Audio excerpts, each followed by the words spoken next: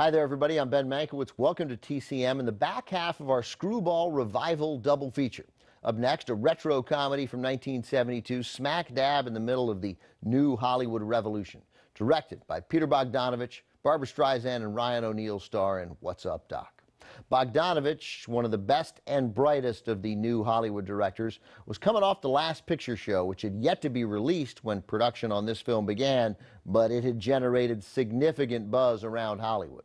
Before becoming a filmmaker, Bogdanovich was a film critic and historian, conducting deep dive interviews with top tier Golden Age Hollywood directors, as well as programming retrospectives of their movies at the Museum of Modern Art in New York. Based on the buzz surrounding the last picture show, Warner Brothers approached Bogdanovich about directing a film to star Barbra Streisand. But Bogdanovich didn't like the script the studio gave him, so he proposed a story of his own, an homage to the screwball comedy stylings of one of his favorite directors and interview subjects, Howard Hawks. Bogdanovich's book of his interviews with those directors, called Who the Devil Made It, was titled after a line from Howard Hawks.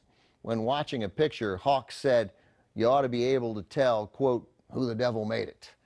Bogdanovich particularly loved Bringing Up Baby, a Hawks film from 1938 where Cary Grant plays a square professor whose life is upended when he gets involved with an illogical free spirit, played by Katharine Hepburn. So Bogdanovich took that vague outline and created a whole new story involving a stuffy musicologist played by Ryan O'Neal, swept into the orbit of a free spirit, Barbra Streisand, when their identical suitcases get mixed up along with a couple of others in a San Francisco hotel. The screenplay was written by a trio of recent Oscar nominees, Buck Henry, who wrote The Graduate, plus Robert Benton and David Newman, the guys who wrote Bonnie and Clyde. From 1972, also with Madeline Kahn and Kenneth Mars, this is Peter Bogdanovich's What's Up, Doc?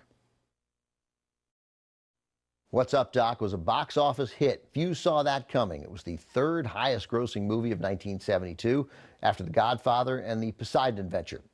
No one was more surprised than Barbra Streisand, who didn't think the script was terribly good and was convinced the film was going to be a flop. Instead, it continued Streisand's run as one of the top stars of the 1970s.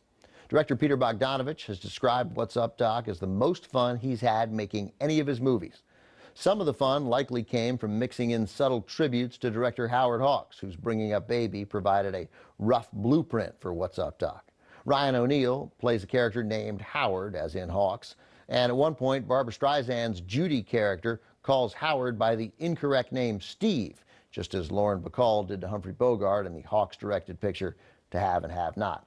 And if you were looking closely, there's also a brief glimpse of Hawks' 1943 war film Air Force on a TV screen.